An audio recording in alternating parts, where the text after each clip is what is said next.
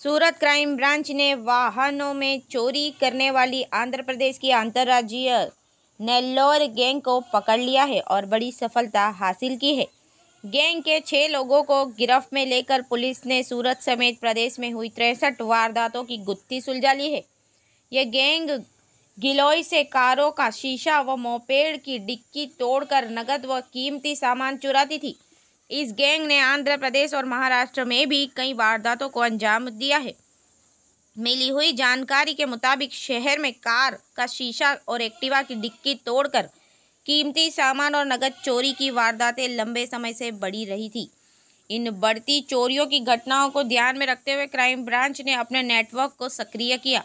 इसी बीच मिली गुप्त सूचना के आधार पर पुलिस ने मोटा वराछा कृष्णा टाउनशिप चार रास्ता पर से मूल तेलंगाना के लिंगमपल्ली के रहने वाले और फ़िलहाल महाराष्ट्र के परभणी शहर के रहवासी आरोपी प्रकाश नारायण मेकाला, हैदराबाद ज़िले के शंकरपल्ली में रहने वाले राजेश मेकाला, हैदराबाद के मूल चिकड़पल्ली गाँव के और फ़िलहाल महाराष्ट्र के परभणी में रहने वाले दावीद बोंडला, तेलंगाना के संगारेड्डी ज़िले में रहने वाले रमेश थाल्ला, नेल्लूर ज़िले के रहने वाले राजू नरबायना और नेल्लोर ज़िले के अप्पाराव, वसंतराव गुडेती को गिरफ़्तार किया है।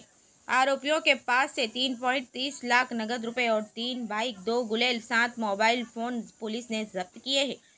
गीत भाटिया के साथ परवीन पठान की रिपोर्ट, समाचार, India news, Surat. Crime branch ने एक नेल्लोर गैंग के छः आरोपियों की धरपकड़ की है, जिनमें से ये जो गैंग पूरी है, उन्होंने अलग अलग एरिया के अंदर जाके फोर व्हीलर कार को गिलोल से, एक कांच के ऊपर पत्थर से वार करने के बाद, कांच तोड़ने के बाद चोरियाँ की है।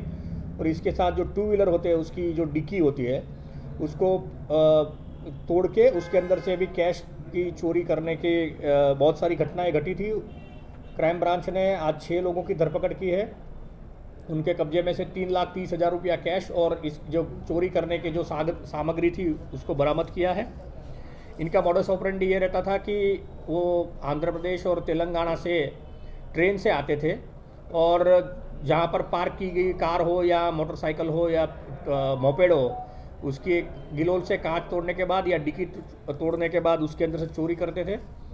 ये जब मोटरसाइकिल पर घूमते थे तो